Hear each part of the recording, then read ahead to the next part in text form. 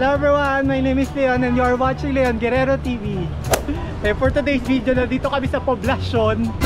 Malaki pala itong poblasyon, barangay to, dito sa Makati. And galing kami doon, sa Century Mall. Sa Century Mall, doon kasi yung may safe na parking. Madaming afam dito.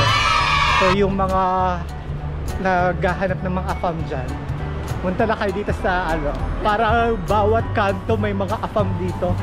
May mga kasamang Pinay. So tara pasok tayo sa loob.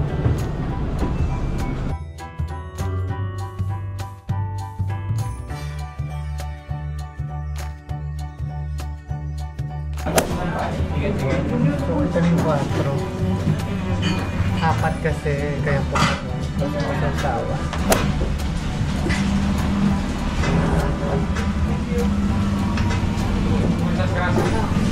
Nagalagyan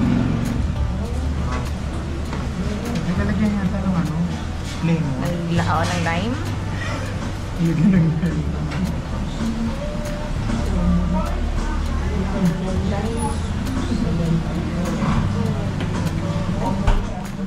Siksik-liglig. Tingnan mo.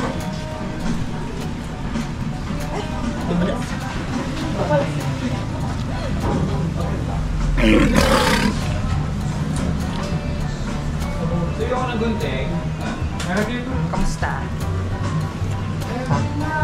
Katry natin. Mo kanila.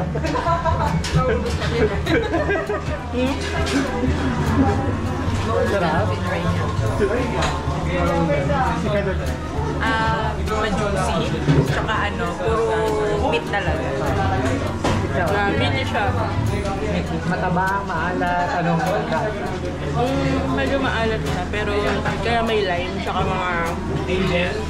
Ano yun? spices. Ano? Mm, Kamatis. mga kamatis. Para mag-balance ng lasa. Me- me- So, tapos na kami sa OnlyFans. So, ang verdict namin, masarap siya, juicy, at maraming laman. Yung nga lang medyo pricey. 750 para sa 4 tacos. Tacos yun, di ba? O, tacos. 750, pero hindi siya ganun kalaki. Pero, kung sa lasa at quality, okay na okay. Ngayon papunta kami sa ano, Wantosawa. Ito na pala yun. Wantosawa. Ang bilis na. Kabilang kanto. Oo, kabilang kanto lang. Ayan lang oh. Dito kami.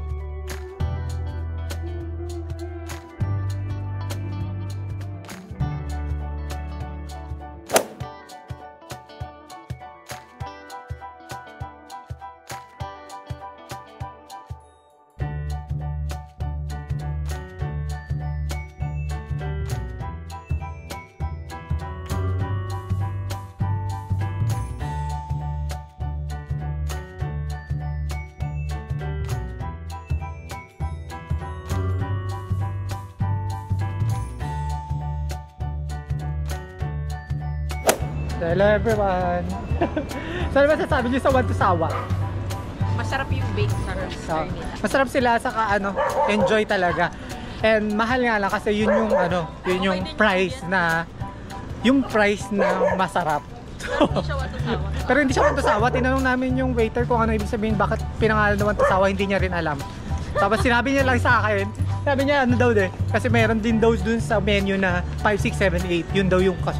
So walang relate. Hindi niya din ma-explain kung bakit Wantosawa, pero in-expect namin na Wantosawa is unlimited. Wala namang unlimited. Walang ganun. Pero enjoy yung mga foods, masarap. Fresh yung and seafoods. fresh yung seafoods nila. Ganda Tapos, yung ambiyan. Oo, ma. Very cool. Medyo maingay nga lang sa loob, pero merong space dun sa labas na medyo, ano naman, tahimik. Pang nightlife No, pang nightlife na siya. So sa susunod na pupuntahan namin is Cafe Floor. So doon tahimik siguro. Tingnan natin mamaya. So, dito na tayo sa cafe floor. Tila natin. Maganda yung ambience yun. May parking.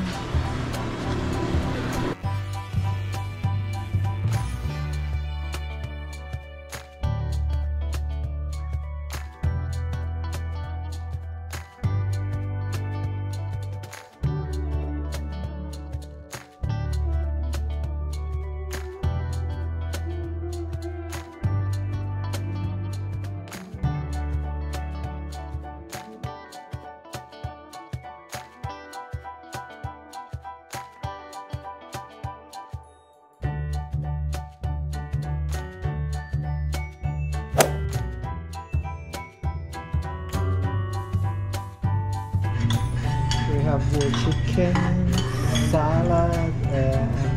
Ang tawag dito sa pasta na to? Sweet ink. Squid ink pasta.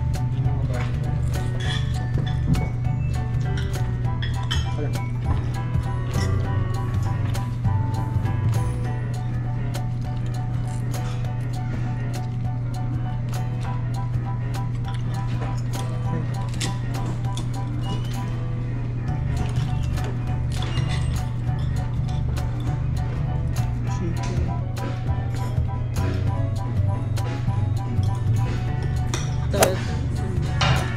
Eh, para Sasha.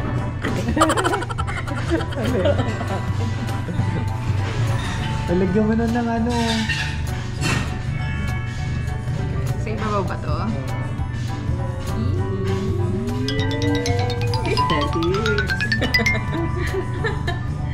Hindi na. Ganyan din siya. Isip pa ako mag gano'n nun eh. Double espresso. Sab- Sobrang lambot. Yung aesthetic. Hindi nga lang aesthetic. Pesta yan eh. Kano ba yung sa kabine? Ilang M yun? May chocolate yung Ha? cappuccino. Ka din plain. Marami Hindi mga kasi yung chocolate mo. Happy! Tayo yung chocolate. Happy sa chocolate. Oy, yung pinsa. May chocolate din. Mga ganun kanina. Chocolate lahat. Parang bibili ng condo kasi yun yung pag kain pa pa Ngayon sa amin, eh, marami nang wala. Walang nakatira kasi balak na nila. So meron akong di cute with chocolate pa.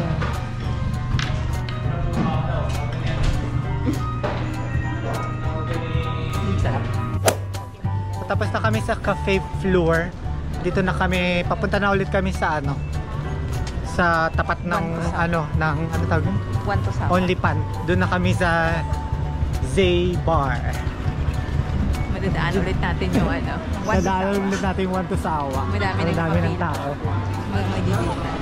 Wow. Dami ng tao. May pila na oh. Kanina wala eh. Tama-tama lang yung pagpunta natin kanina. Yeah. So ngayon, parang magbabar-bar na kami. parang hindi tayo nagmamadali.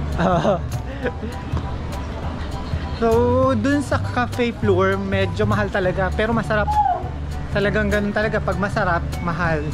Pero, ano yun eh, yung binabayaran natin dun. Yun yung isa sa restaurant na restaurant na aesthetics at the same time masarap. So, ito na yung Zay. Zay. Zay Bar. Zay. Ayan siya.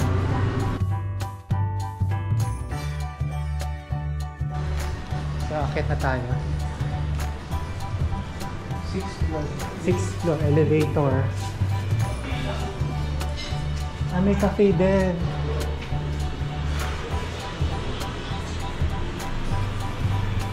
May coffee shop din dun. Ano? Six, no? Sixth floor. Kami pa. Six plus six. Bale, 500 per person consumable.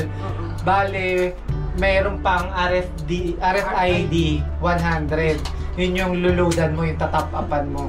So, bali, ang load nun ngayon is 2,000 kasi tigpa 500 kami. So, hindi na namin alam kung magkano yung ano, Mga yung mga drinks. Pero may ano daw, di ba? Ah, dito na, 6th floor.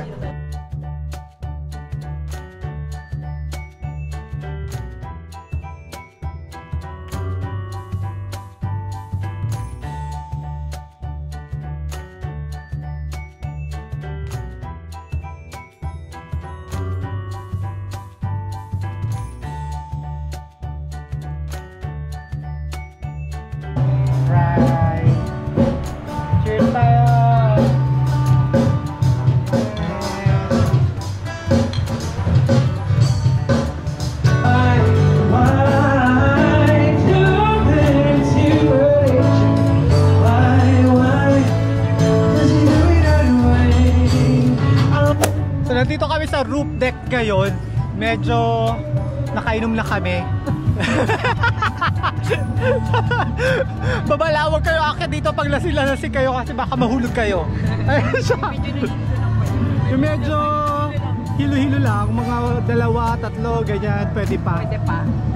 More than that, wag na.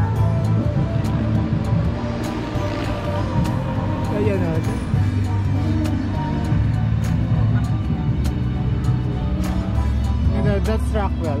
Kaya hindi nga pwede dito yung mga lalasing-lasing sa taas. Ito, dito, delikado. Kaya usually nasis nila eh, pag ano. Lasing na. Oo.